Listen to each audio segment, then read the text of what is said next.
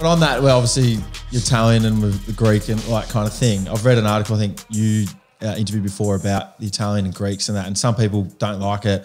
But what have, how have you dealt with that? How some people give you backlash on, oh, you can't be doing Greek skits or well, Yeah. it's ridiculous. I, I, just, I just show them the bank account, to be honest.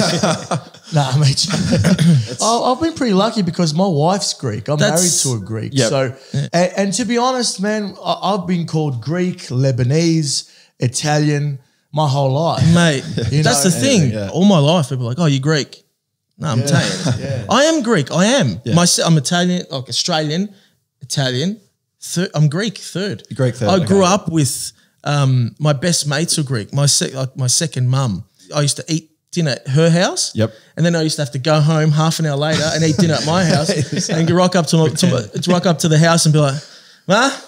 And she's like, oh, I just cooked some pasta. I'm like, I just had souvlaki and all this rice and all that. I'm like, have to hide it from her that I didn't eat and I have to eat again. So if, when people say that, it's like, man, I am, I am You are, Greek. yeah. And- I'm, I feel Greek. I've Yes. grew up with it. You know. And we're Sicilian.